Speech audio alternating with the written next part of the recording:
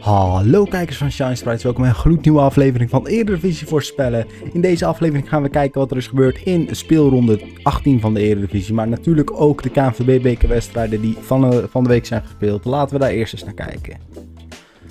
Uh, MVV Excelsior werd 2-2. Ik ben er heel eventjes uh, vergeten bij te zetten dat Excelsior heeft gewonnen na de verlenging. Maar Excelsior heeft gewonnen na de verlenging.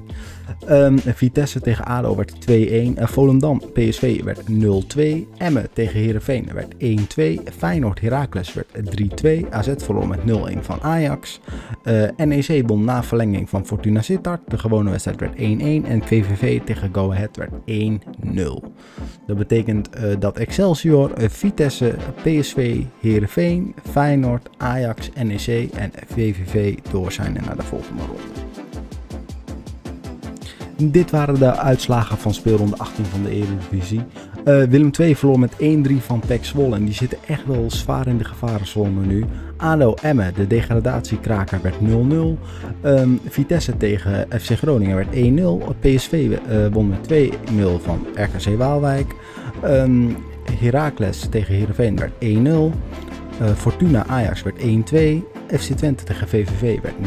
Uh, FC Utrecht won met 1-0 van Sparta. En de topper Feyenoord AZ werd 2-3.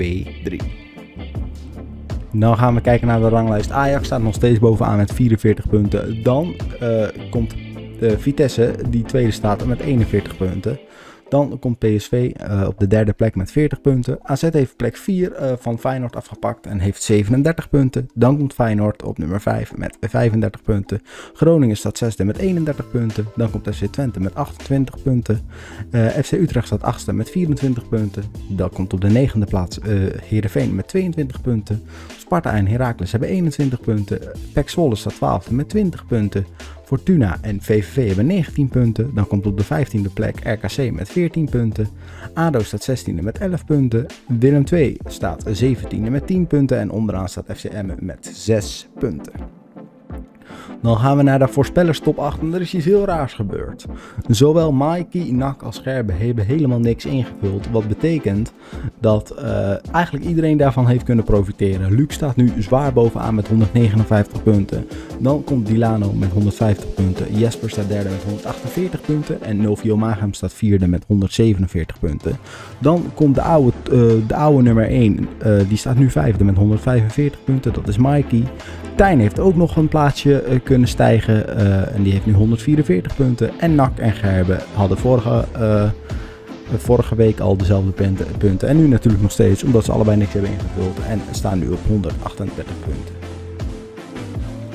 Dan hebben we weer een middenweekse speelronde. PEC Zwolle ontvangt Heracles Almelo. Uh, FCM moet thuis tegen PSV. FC Groningen ontvangt ADO Den Haag. AZ neemt het thuis op tegen FC Utrecht. RKC Fortuna uh, moeten ook tegen elkaar. VVV ontvangt Vitesse. Heerenveen moet thuis tegen Feyenoord. Sparta ontvangt FC Twente. En Ajax speelt in de arena tegen Willem II. Ik wil jullie bedanken voor het kijken van deze aflevering. Vond je dit een leuke aflevering? Doe een duimpje omhoog. Dan zie jullie heel graag weer volgende week. Nee, eerder al. Aanstaande donderdagavond of vrijdag overdag met een nieuwe aflevering. Ik heb nog maar één ding te zeggen. Dat is adios amigos.